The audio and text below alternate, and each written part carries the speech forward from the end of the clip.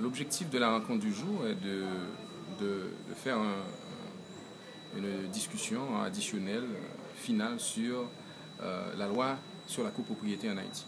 Cette loi qui date de 1984 est une loi désuète euh, qui nécessite des amendements, des corrections pour qu'elle soit appliquée effectivement, efficacement.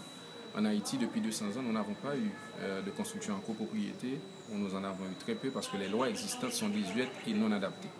Donc l'idée donc, de cette rencontre du secteur privé avec les autorités étatiques et gouvernementales est de pouvoir en arriver à un modus operandi, à un consensus sur euh, la promulgation donc d'un arrêté d'application qui viendrait compléter la loi de 1984 et qui permettrait à la copropriété, à la loi sur la copropriété d'être effective.